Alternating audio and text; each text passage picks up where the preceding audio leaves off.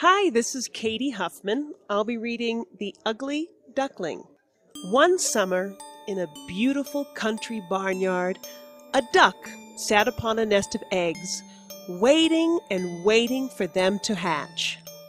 The duck was very lonely because all of the other ducks who lived on the farm were swimming and playing in the pond.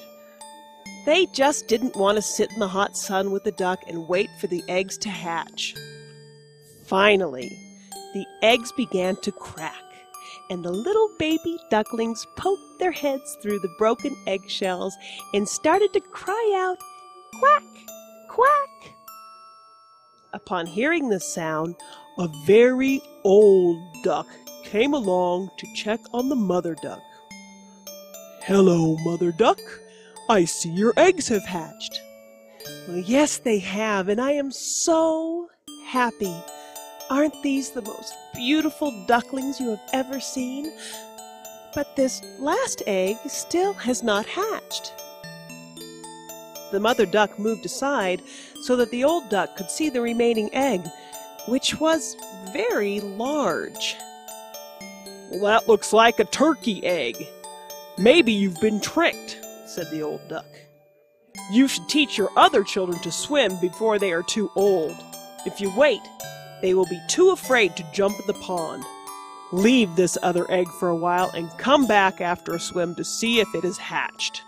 Well, no, I, I cannot leave my baby duckling until he or she hatches. I am sure it will not be too long before it does, and the others will learn to swim without a problem, insisted the mother duck. Well, the old duck decided to sit with the mother duck while she waited for the big egg to hatch. The next day, the big egg shook and cracked, and the last baby duckling waddled out of the broken eggshell. The old duck and the mother duck looked at the last baby duckling with great surprise. She looked nothing like the other ducks. In fact, she did not really look like much of a duck at all. She was big, gray, ugly, and strange looking. Well, she certainly is an unusual looking duckling, said the old duck. Hmm, said the mother duck. She must be so big and odd because she was in the egg for so long. She is rather pretty if you look at her a certain way, in time, I am sure she will grow into a proper looking duck. The mother duck led her children to the pond, and one by one they all jumped in. The ugly gray duckling swam very well. Actually, she swam even better than the other ducklings. The mother duck was happily surprised. She was very worried that she might have been a poor swimmer because she was so big.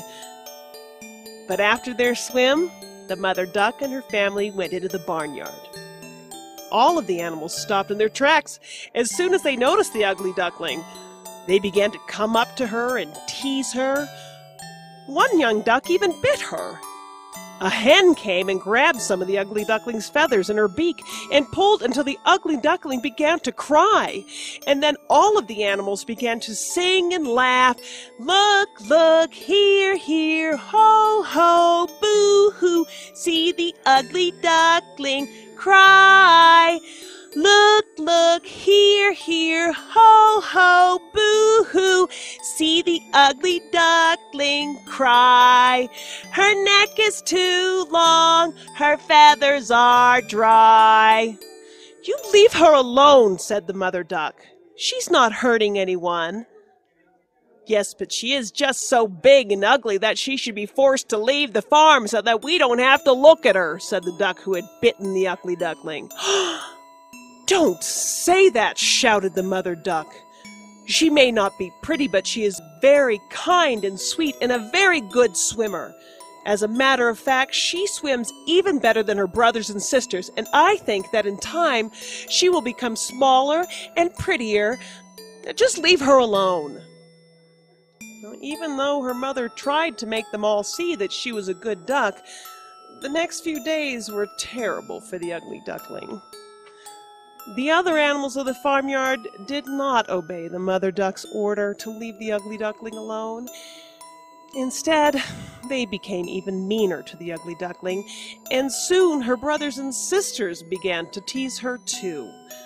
Eventually, her mother became too tired to defend her anymore, and so, one night, the ugly duckling snuck away from the farm into the great wide world. She traveled a long, long way until she finally found a huge field and fell asleep.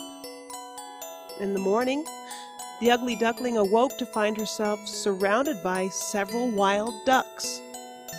One of the ducks began to tease her for being so ugly.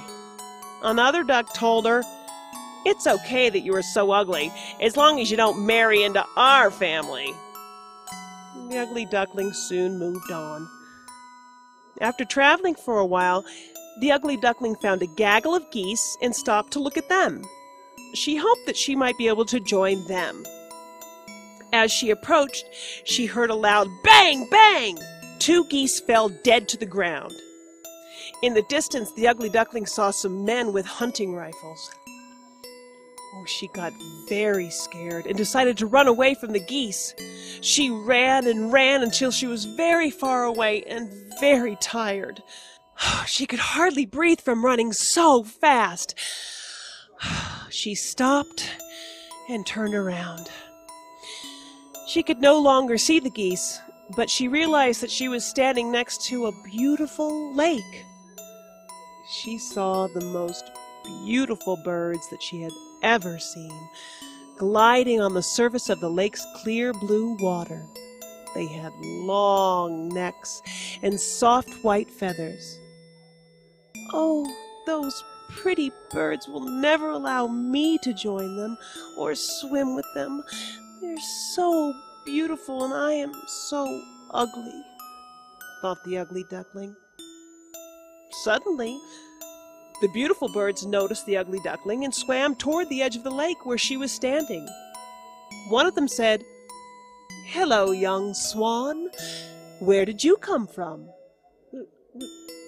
Me? said the ugly duckling in surprise. Well, I came from a place that is very far away. I don't know what a swan is, but I am a duck. What is a swan? the beautiful birds began to laugh. what is a swan? Why, we are swans, and so are you. You are not a duck. Imagine you as a duck. A swan would make a very funny looking duck.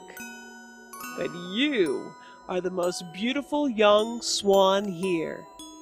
Come live with us and we will raise you. I'm a swan! I am beautiful! rejoiced the swan, who was no longer an ugly duckling. Finally, I am accepted, the swan thought to herself joyfully. And the young swan lived among the other swans happily ever.